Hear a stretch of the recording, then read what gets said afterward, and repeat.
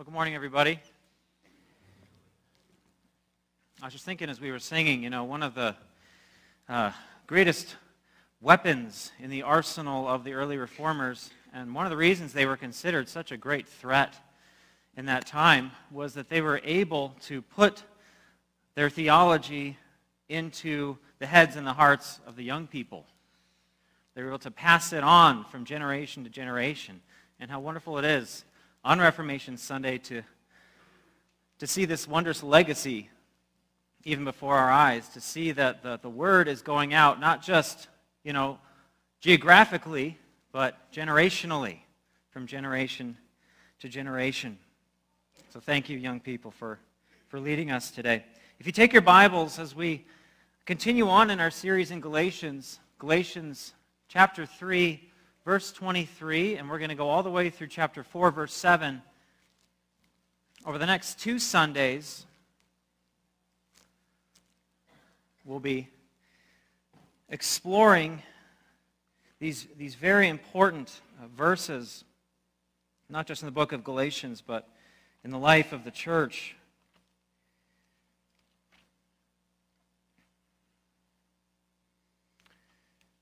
You know, even as we hear the gospel week to week, and even as we sing about it week to week, I think we still have a natural tendency to view the gospel as inherently foolish and the law as inherently wise.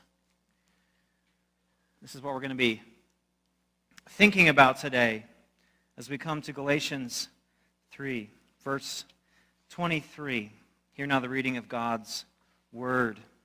Now, before faith came, we were held captive under the law, imprisoned until the coming faith would be revealed. So then, the law was our guardian until Christ came, in order that we might be justified by faith. But now that faith has come, we are no longer under a guardian. For in Christ Jesus you are all sons of God through faith. For as many of you as were baptized into Christ have put on Christ. There is neither Jew nor Greek. There is neither slave nor free. There is no male and female, for you are all one in Christ Jesus. And if you are Christ's, then you are Abraham's offspring, heirs according to promise. I mean that the heir, as long as he is a child, is no different from a slave, though he is the owner of everything. But he is under guardians and managers until the date set by his father. In the same way, we also, when we were children, were enslaved to the elementary principles of the world. But when the fullness of time had come, God sent forth his Son, born of a woman, born under the law, to redeem those who were under the law, so that we might receive adoption as sons. And because you are sons, God has sent the Spirit of His Son into our hearts, crying, Abba, Father. So you are no longer a slave, but a son. And if a son, then an heir through God. If you abide in His Word, you are truly His disciples, and you will know the truth, and this truth will set you free. Let's pray. Father, we pray today that we would understand the freedom that we have in the gospel, freedom that came at such a high price so long ago by he who was born of a woman born under the law. Father, even as we have this lure to always go back, even as we are charmed by the things that make most sense to us in this world, we pray, Lord, that we would hear the call of Christ, that we would heed that call, that we would go forward, that we would go to Him, that we would rest in Him, in the reality, in the sanity that He gives us at His right hand. The Lord, we pray these things as we hear your word today. In Jesus' name, amen. Amidst the mounting pressures of adulting, feeling overworked and underappreciated, as adults, we sometimes find ourselves thinking about simpler days, don't we? We get nostalgic for good old days. The days when all of our needs were cared for. When we didn't have to worry about bills and deadlines, caring for other humans. The bygone glory days when play was the norm and work was the interruption, not vice versa. When things came easy, when we were less tired, less bitter, when we didn't have to worry about our next meal because mom or dad always made it. Even as I describe it, maybe some of you are like, yeah, I do kind of miss those times. You know, it's interesting that we seem to find this kind of childhood allure, even in the Bible, on a spiritual level. The Puritans called it spiritual declension. I mean, how many of the biblical stories are about essentially this God essentially pushing his people forward? The eschatological clock is ticking along, and yet God's people want to go back. Again and again, they want to go back to Egypt, back to the simpler days when they didn't have to worry about three meals a day and trying to squeeze water out of a rock. I mean, sure, they were in bondage, but it was more comfortable in a way. Back to Egypt, back to their idols, back to the Asherahs and the Baals. Like a parent trying to to uh, navigate their toddler through a crowd, a very familiar scenario to some of us. And the toddler is always wandering, getting distracted by the, the shiny, sparkly this and that. Like that parent, there was God trying to lead us along, and we were that toddler backsliding again and again and again. Remember that rebuke in Hosea chapter 11 when God makes this very comparison that I just made. When Israel was a child, I loved him. But the more they were called, the more they went away. My people are bent on turning away from me, he says.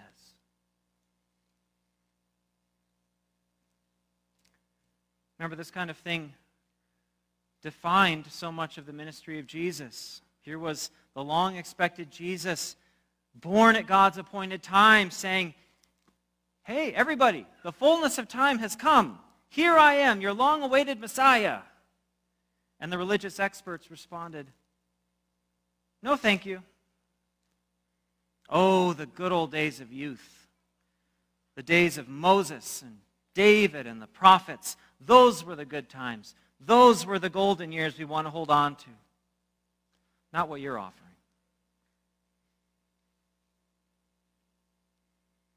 Congregation, this was the church in Galatia.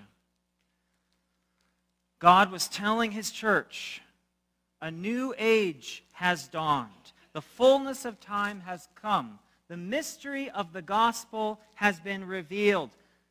But the Galatians wanted to go back. They wanted to go back to the, the vaunted glories of Moses.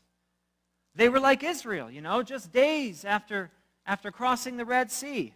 God, you want us to move forward, but we want to move back the way we came. Back to the day when life was great, when we didn't have to bother about living by faith.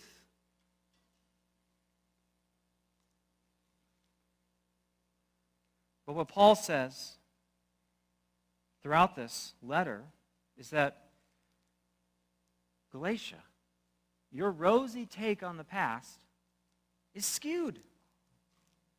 Those glory days, as you called them, were days of bondage. Yes, those days existed for a time and for an important purpose. It was fitting for the church in her adolescence, but it was basically slavery. It was burdensome and never meant to last. And now the church has grown up. The time has come. The church has come of age. You've been freed. You've been made a full heir of God's family estate as his adopted child. So don't long for the past. Look to what's ahead. Brothers and sisters, we all have this tendency. This didn't die with Galatia. This, this knee jerk urge that we have to backslide, to go back under the law, to be lured away by the sweet siren song of Moses is very, very strong. Stronger than we think. The voice of the law often seems far wiser than the voice of the gospel. When I was a kid, we'd often have slide night at our house. We had lots of pictures on slides back then. You guys remember slides? Slide projectors? On certain nights, we would uh, load the reel of slides into the projector. We'd throw a sheet up on the wall. We'd turn off all the lights. We'd, you know, uh, make some popcorn, and, and we'd scroll through family photos. Remembering, remembering the days gone by. Well, Paul is basically doing the same thing with us over the next two Sundays. He's, he's pulling out uh, the slide projector and he's showing us pictures of what the church was like in her adolescence, in her growing up years, and now in her adulthood. And in doing so, in displaying how far we've come, he's demonstrating why the gospel is worth holding on to and why it is so foolish to want to go back. This morning, we're going to consider three different snapshots of the church, three different glimpses of the church as it relates to the law. There's number one, the church in her adolescence, the law as a guardian, the church in her weakness, the law as a charmer, and number three, the church come of age, the law as fulfilled. So, first of all, the church in her adolescence. Uh, verse 23 Now, before faith came, we were detained under law, restricted until the coming faith would be revealed. Now, as we get started here, it's important to understand that Paul is distinguishing between two ages of the church here. There's the church in her adolescent form, the age of the law, the age prior to the coming of Jesus. And there's the church in her adult form, the age of faith, he calls it, the age in which Jesus has come. You see, as Christians, we don't think of time the way that others do. We're not just floating about aimlessly on the sea of history, gently bobbing from place to place, no destination, no beginning, no end. The journey is the destination. No, we believe that our Creator made us for a particular purpose and that He is leading history forward until that history is realized. History is heading toward a telos, a goal. It's not an endless cycle governed by the stars and the planets. Round and around we go. It's not uh, what we make of it. Well, everyone around me is just part of my life movie. No, history is a cosmic love story with a beginning and a middle and a climax and an end. And in this love story, like most love stories, there's a progression. The climax doesn't happen in the first chapter or even in the first book. No, it takes time for the story to, to build. There's a lot of preparation. There's a lot of story development that takes place. Well, that's what was going on in the Old Testament. In the Old Testament, there in early Genesis, we see the church in her infancy. We see the people of God begin to take shape. And as time marches on into the days of Moses, we see the church in her adolescence. She's a growing child. And like any child, she needed a lot of close parenting, a lot of restrictions a lot of boundaries and limitations. Like most kids, their lives were defined by rules and regulations, rewards and punishments. Do this, don't do this. Paul says that in the age of the law, the church was detained. She was under guard. She was restricted until the coming faith was revealed. In other words, every moment of life, what to eat, what to wear, was carefully managed for them. Now, Paul explains this a bit more in verse 24. He says that the law was our guardian until Christ came. And jumping ahead to verse 2, he says that we were like a wealthy man's son, growing up under guardians and managers until the time designated by our Father.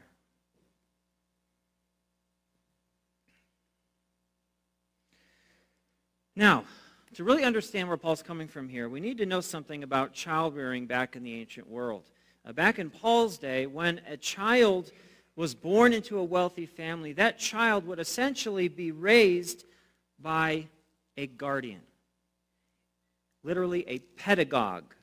Think of it like a full time nanny. The guardian, who would usually be uh, an older slave hired by the father, would supervise this child's upbringing. He would accompany the child on the walk to school, protecting him from, from bullies. He would supervise his education, making sure he did his homework. He would supervise his conduct, even disciplining the child when he stepped out of line. Uh, so this, this guardian, essentially, as Paul Ryken put it, Phil Ryken, was part babysitter, part chaperone, part tutor, part probation officer. Now for you kids grimacing, oh wow, that would be the worst way to possibly grow up. Keep in mind, the guardian served a very, very important purpose in the life of that child. In fact, often the two would develop a very close emotional bond because they spent a lot of time together. That guardian lived for that child, for, that, for their welfare, for their good, their preparation for adulthood. Well, that's basically what Moses and the law was for when the church was underage. The law was appointed by God to be our guardian, our manager, our full time nanny to prepare us for adulthood. And like the ancient guardians, the law served a dual purpose, both positive and negative. First of all, positive. What positive purpose did the guardian serve? Well, it's interesting that the same word that Paul uses in verse 23, he uses in Philippians 4 7, the famous words, and the peace of God, which surpasses understanding, will guard your hearts and minds in Christ Jesus. In other words, guarding isn't always a bad thing. Guards are called to protect, to shield from harm. Well, that's what the law was. It served to protect God's people, to guard them from temptation, from the harmful influences of the surrounding nations. It was a hedge against evil. Think of the, uh, you know, that two-inch plexiglass that separates you from that hungry lion at the zoo. Well, that barrier not only protects you from the lion, but the lion from you. It keeps you out. Well, the same with the law of Moses. It, it kept the influence of the nations out. And not only that, but it taught Israel many things. Uh, the law taught them about God, it taught them about his ways, his goodness, his holiness. It laid out the path of righteousness for them to walk on and commune with God. In fact, it, it was their greatest delight. This is why the psalmist says, Oh, how I love your law. It is my meditation all the day. And yet, most importantly, the law taught them about Jesus. Every time they laid that sacrifice on the altar, they were taught about the Lamb of God who would come and take away the sins of the world. Every time they sang Psalm 24 in synagogue, they would think of the King of glory soon to come. The law had a positive purpose, it also had a negative purpose. The thing is, a cage is still a cage, even if it does a lot of good. Beloved, Israel was bound. They were, as Paul says, imprisoned under Moses. That's the reality. The rules and the regulations, the obligations, the punishments, all 613 commands they had to follow to the letter. And it's not like the law was effectual, because it wasn't. That's what the book of Hebrews is all about, remember? How the law could never actually provide what it demanded. You see, the thing about a cage is that it doesn't change the nature of the beast. It cages the beast, it prevents the beast from getting out and spectators from getting in, but the, the beast is still a ferocious carnivore. The cage can't change that. Well, that's like the law. The law works as a nice hedge. It helps modify our behavior, but it can't change the heart. I'm always struck by that opening recitation that Joel Osteen and his congregants chant at the beginning of his sermons. I saw it again the other day. This is my Bible. I am what it says I am. I can do what it says I can do. Tell that to Martin Luther. Or the generations of Israelites just grinded into the ground by a law that they could not keep. Now, to be fair, that's what the rich young ruler believed. He believed that he could do what the law demanded. He came to Jesus believing that he had it all. He says, Lord, what must I do to inherit eternal life? In other words, he doesn't even bother to wonder if he can earn eternal life. He, he knows he has the power. He just wants the list of commands so he can check it all off like a business transaction. And so Jesus gives it to him. He gives him a sampling of the Ten Commandments. And the man says, Oh, great. I have actually already done all those things. This works out very nicely. Is there anything else? Jesus says, Yeah, go and sell your possessions and follow me. And the man says, Oh, never mind. And he walks away. See what Jesus is saying here?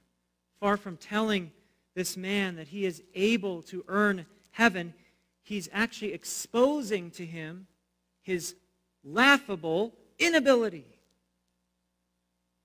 He's exposing the fact that this man, like all men, have a severe heart problem. A problem that all of his rigorous T-crossing, I-dotting law keeping could not fix.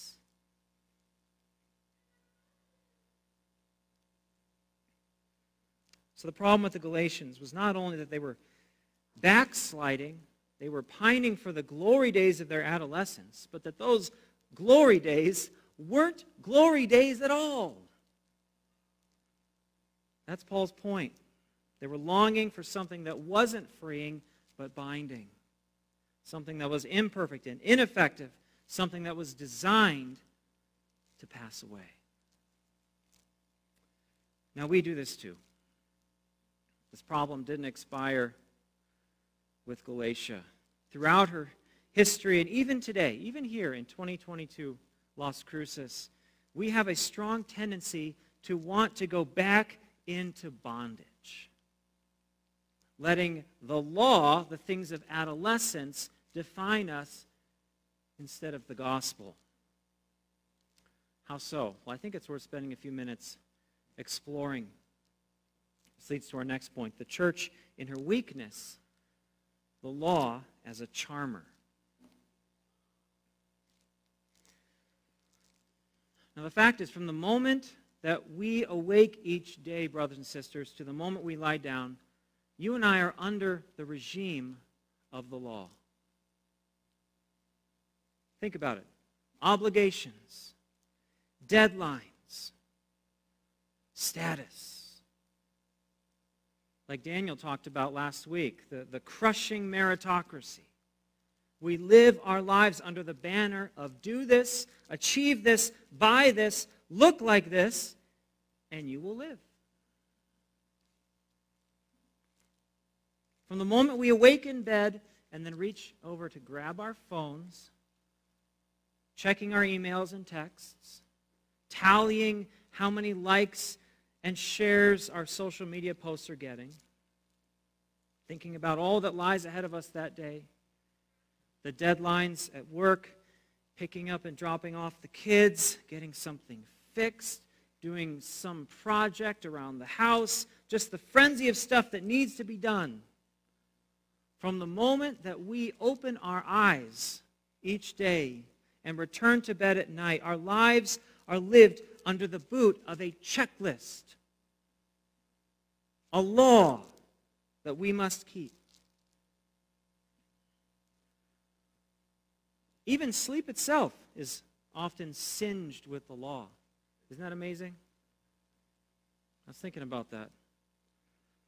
Dreams, at least for me, dreams, nightmares about our inadequacy, fears that we haven't overcome, puzzles unsolved, pain unhealed. It's hardwired into our thinking as fallen image bearers that obligations, duties, responsibilities, successes, and failures, this is life, and there is literally nothing beyond that.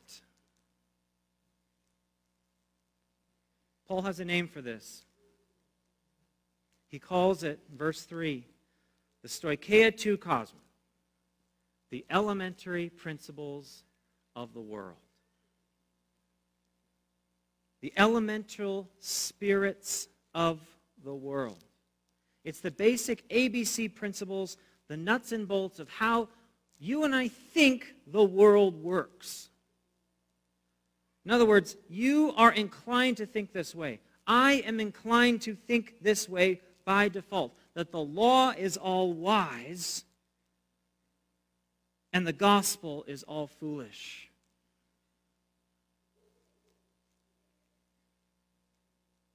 Now, what are some concrete ways that we, that we do this, that we think this way?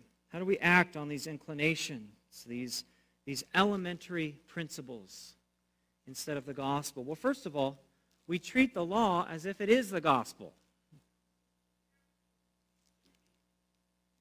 We try to wield the law as if it is the real power of God to salvation and the thing that actually does change the heart. In our child rearing, for example, we think, well, as long as I have enough hedges in place, as long as I have enough boundaries and restrictions and good habits, then my child is going to turn out right. As long as I'm the disciplinarian I need to be, and as long as, as my child follows this plan, then he or she will surely love Jesus.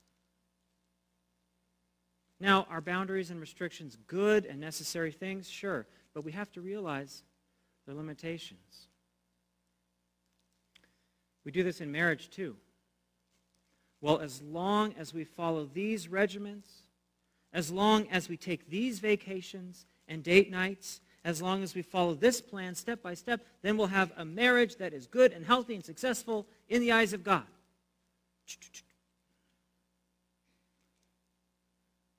But we forget, again, the fence can cage the beast, but it can't change it. Only the gospel can do that.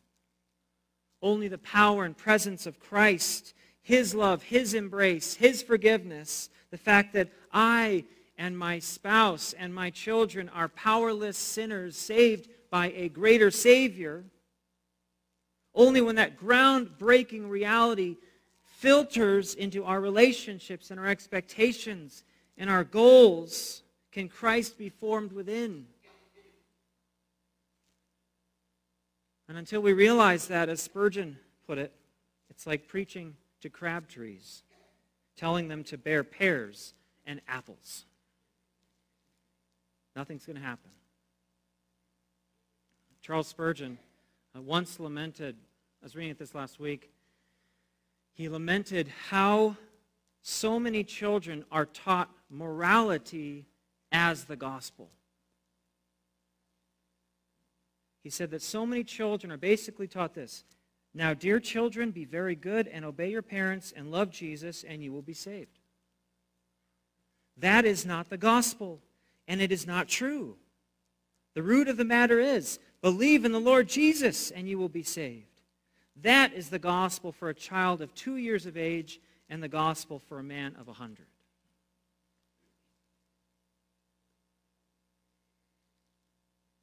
Another way we go back under the law guilt tripping ourselves and others. We let the guilt of our sin or others' sins be the lens through which we view ourselves and the world around us.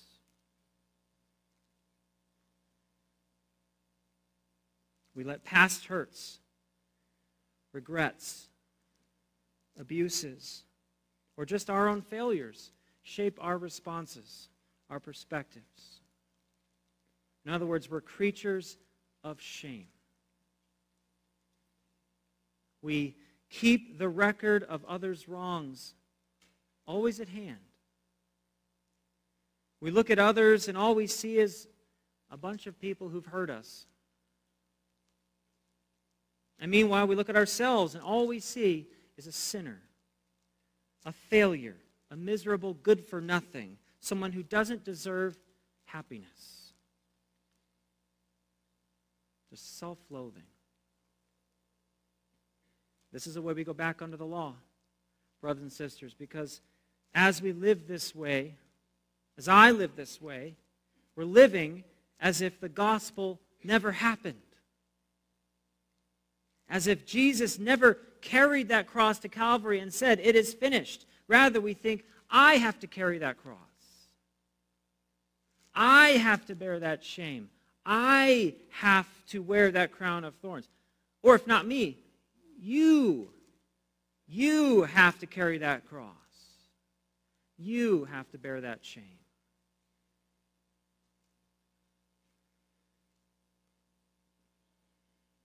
One more way we go back under the law ignoring the law.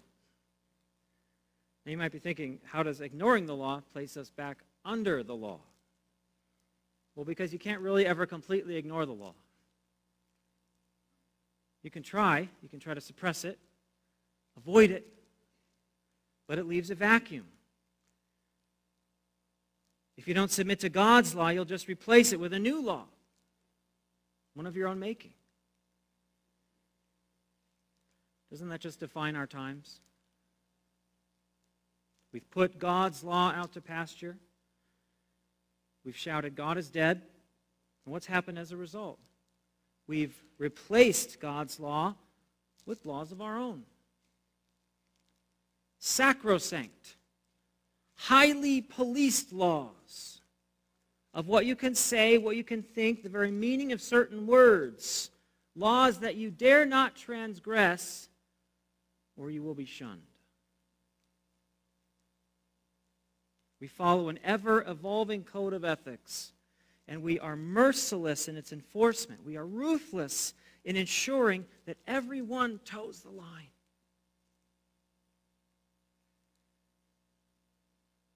But this is nothing new. A generation ago, it was something else. I mean, look at those in Jesus' day. How many extra biblical rituals and traditions was Jesus expected to follow to a T simply because the religious figureheads of the day said he should. How many times was Jesus standing against a confused mob because he defied their made up laws and customs? Oh, the charm of the law. We always want to go back into bondage when God is ushering us forward into freedom. Friends, the good news today is that we've come of age. We're no longer bound under the reign of the law. That age has passed and a new age has come. That's our final snapshot of the church we're going to look at. The church in her adolescence, the church in her weakness, and finally, the church come of age. So, Paul's point in these verses is this the law was needed as our nanny, but only for a time.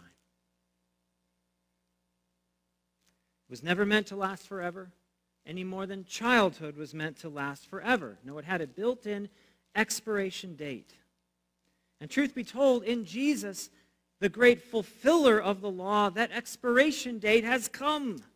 That old guardian is no longer needed.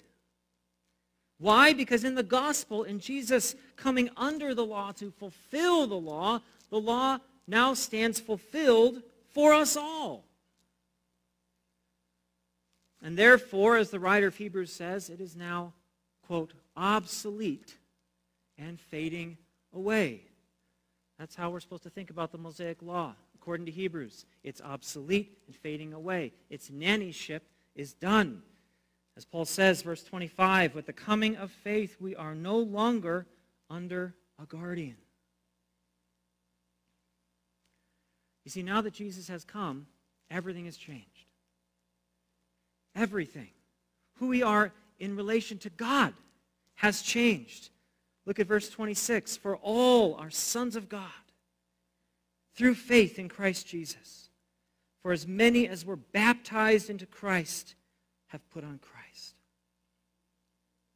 In other words, despite what those elementary principles tell you, you're not the sum total of what you do or achieve. Rather, Christ defines you. Christ is your life, His merit, His righteousness, His birth, His life, His death, His burial, His resurrection and ascension. That is now your life. Who you are is hidden with Christ there's anything you could put on your tombstone, the truest thing you could ever engrave to sum up your life, it's this. Here lies so and so hidden with Christ.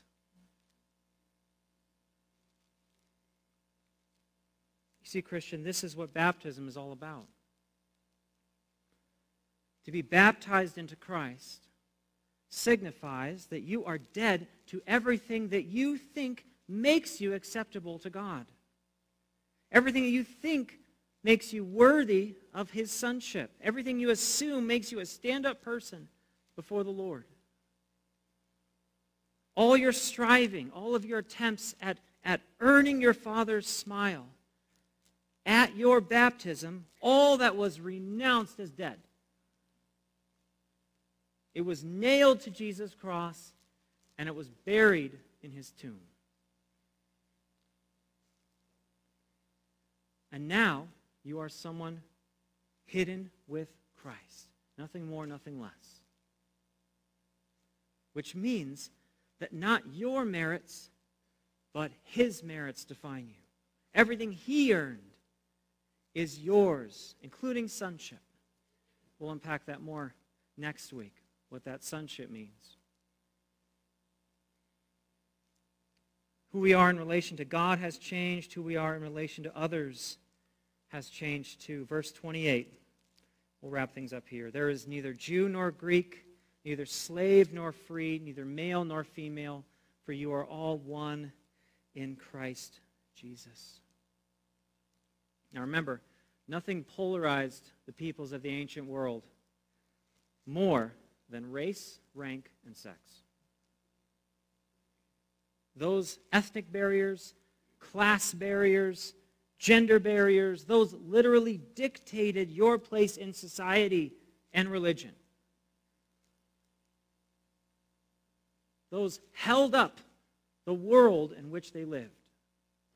Well, part of being baptized into Christ means that as far as God is concerned, as far as the communion of saints is concerned, those barriers are also now dead. They've been buried with Christ. And according to Paul, to resurrect those, those barriers, to let those demographics, whether it's race or rank or gender, trump our unity in the faith or our oneness with Christ, is to deny the faith altogether. It's to deny our baptism.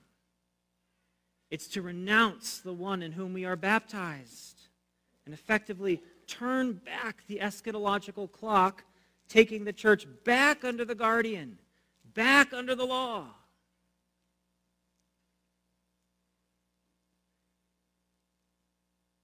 You see, when it comes to your standing before God and your brothers and sisters, and they're standing before you, when it comes to your acceptance of them, how you feel about them, how much you embrace them, there's really only one thing you need to think about. Are they hidden with Christ or not? Are they baptized into the name of Christ Jesus? Or aren't they? That's the question I'll leave you with today. We'll pick things up from here next week.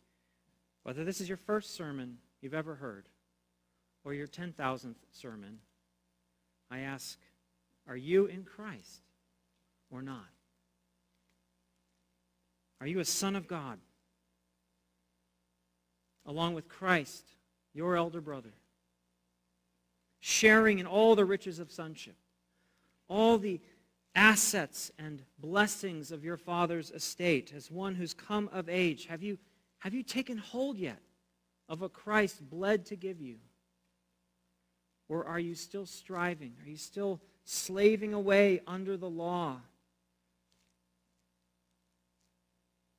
Trying to build that Tower of Babel brick by brick, bound by those elementary principles that holds the whole world in bondage.